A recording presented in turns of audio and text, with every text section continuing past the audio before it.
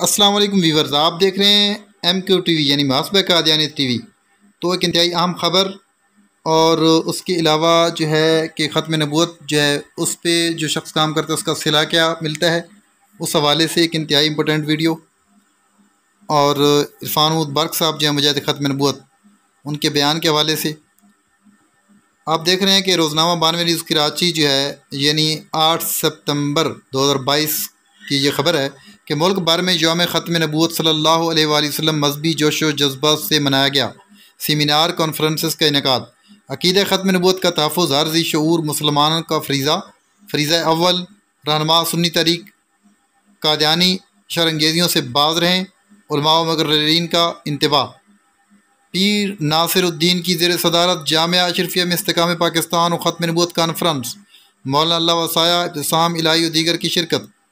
कादियानी फितना इस्लाम के दुश्मन अकाबरीन अलसनत ने नापाक साजिश को बेनकाब करके नापाक बना दिया। शेख हदीस मुफ्ती इब्राहिम कादरी, प्रोफेसर इरफान महमूद बर्क। तो नीचे मैं आपको मज़ीद ये ख़बर जो दिखाता हूँ।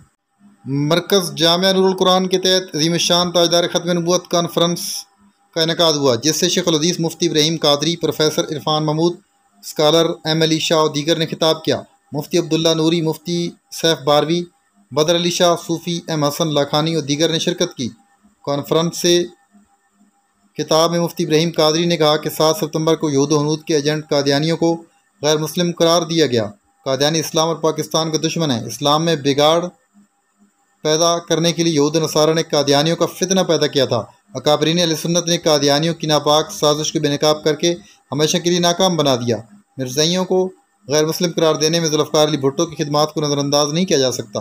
मुल्क में लादीनी कुतें सर उठा रही हैं। यकजहती के साथ इनका सर कुचलना होगा। तहफ़ नामों से रिसालत के लिए अपना तन मन धन कुर्बान कर सकते हैं।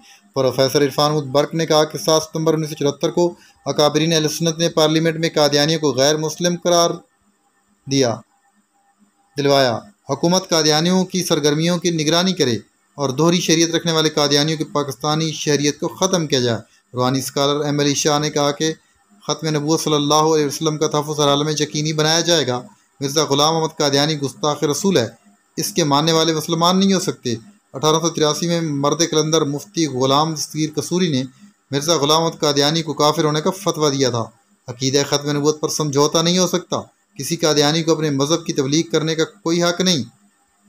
नौजवान नस्ल को कीद ख़त्म पैरादारी के लिए इलमी और जहनी तौर पर तैयार करना उलमा की ज़िम्मेदारी है। मज़ीद वो ख़बर भी सुनते हैं इस हवाले से।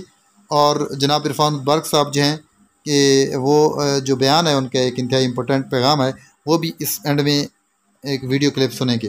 कराची प्रेस क्लब में तहफ़ ख़त्म नबूत सेमिनार कराम का कहना था कि मुल्क में नफाज इस्लाम की राह में कोई रुकावट नहीं होनी चाहिए। मुसलमानों ने कभी भी ख़त्म नबूत पर कोई समझौता नहीं किया और ना आइंदा करेंगे। कराची प्रेस क्लब में ख़त्म नबूत सेमिनार का इनका किया गया, जिसके मेहमान खसूसी इस्लाम कबूल करने वाले इरफान महमूद बर्क थे। अपने खिताब में उनका कहना था कि ख़त्म नबूत किसी मकतब फ़िक्र का नहीं, बल्कि पूरी उम्मत का मुश्तर असास है। इस सरमाए पर किसी की इजाजदारी नहीं है।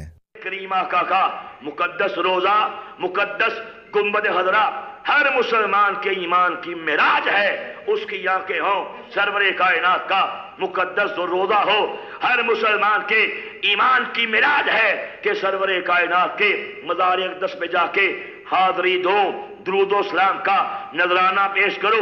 वो जगह कौन सी है? हमारा ईमान है जहाँ पे करीमा का आराम फरमा हज़रत यूसुफ के दौर में मिस्र में कहत पड़ा। यूसुफ ने अपनी हमत से गल्ला का एक बहुत बड़ा ज़ख़ीरा महफूज कर रखा था। आपने मुल्क भर में ऐलान करा दिया। जिसे गल्ला की ज़रूरत हो, वो मेरे ज़ख़ीरे से मुफ़्त हासिल कर सकता है। ये ऐलान सुनते ही लोग यूसुफ की तरफ़ चल दिए। जो भी साइल आता, जनाब यूसुफ एक पैमाने से माप माप कर सबको गल्ला देते। ये सिलसिला अनायत जारी था। एक शख्स आया और आकर गल्ला तलब किया। जनाब यूसुफ ने पैमाने से नाप कर गल्ला दे दिया। गल्ला लेने के बाद अजनबी ने मजीद गल्ला का सवाल किया। यूसुफ अलैहिस्सलाम ने से कहा, तुम्हें तुम्हारा हिस्सा मिल चुका? अजनबी ने यूसुफ अलैहिस्सलाम को मुखातब करते हुए कहा, ए यूसुफ, अगर मैं तुझे बता दूँ कि मैं कौन हूँ तो तू मुझे ये सारा गल्ला दे दे। भाई, तू कौन है? हज़रत यूसुफ अलैहिस्सलाम ने पूछा ए यूसुफ, मैं वो बच्चा हूँ जिसने पंगूड़े में तेरी गवाही दी थी जब जुलेखा ने तुझ पर अल्जाम लगाया था। अजनबी ने जवाब दिया। यूसुफ अलैहिस्सलाम खुशी से झूम उठे और अपने करिंदों से कहा, इसके लिए गोदाम के सारे दरवाजे खोल दो और ये जो कुछ ले जाना चाहे, ले जाने दो। साथियों एक कहत यूसुफ अलैहिस्सलाम के दौर में पड़ा था और एक कहत हशर के मैदान में पड़ेगा। ये कहत यूसुफ अलैहिस्सलाम के कहत से अरबों गुना ज़्यादा बड़ा होगा। वहाँ शदीद भूख होगी, बड़ी शदीद प्यास होगी। शिद्दत भूख से इंसान अपना गोश्त कोनियों तक खा जाएँगे।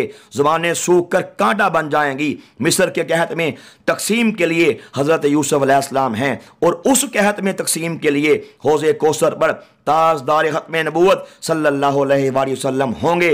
मिस्र के कहत में जो यूसुफ अलैहिस्सलाम की गवाही दे, उसके लिए सब कुछ हाजिर है और उस कहत में जिसने ख़त्म नबूत की, इस दुनिया में गवाही दी होगी। उसके लिए कैसे कैसे इनामात होंगे? अगर अल्लाह के नबी जनाब यूसुफ अलैहिस्सलाम अपनी गवाही देने वाले पर इतने एहसानात की बारिश करते हैं तो सैदुलम्बिया वसल्लम की नबूत की गवाही देने वाले पर सरवर कौनैन के एहसानात का मैार क्या होगा? आकाए नामदार साकी कोसर वसल्लम फरमाते हैं कि मैं हौज़ कोसर पर बैठूँगा और जाम कोसर तकसीम करूँगा और जो कोई मेरे हौज़ कोसर से एक जाम पी लेगा, दोबारा ऐसे प्यास नहीं लगेगी। साहबो, आओ, हम भी ख़त्म नबूत की गवाही दें। मुनकरीन ख़त्म नबूत कादियानी बदबख्तों के ख़िलाफ़ आवाज़ उठाएँ हतम नबूत की मनादी करें। अपने घर में, अपने मोहल्ला में, अपने गाँव में, अपनी बस्ती में, अपने कस्बा में, अपने शहर में, अपने मुल्क में, सारे मुल्कों में, सारे आलम में, क्योंकि ये बड़े एजाज का काम है, ये बड़ा आला अरफा काम है। लिखता हूँ खून दिल से, ये अल्फाज अहमरी के बाद अज रसूल हाशमी कोई नबी नहीं।